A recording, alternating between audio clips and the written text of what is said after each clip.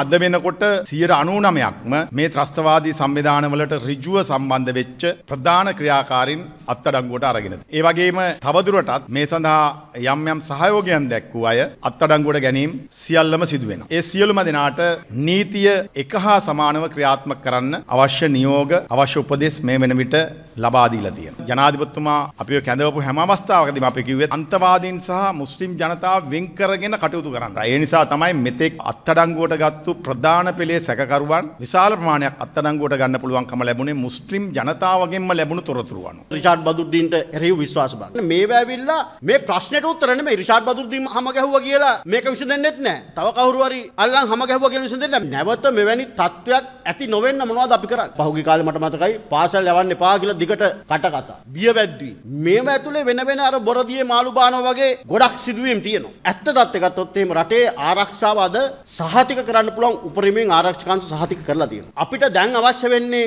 මේ රටේ සහරාන්ලා පැටවු ගහන එක නවත්තන්න.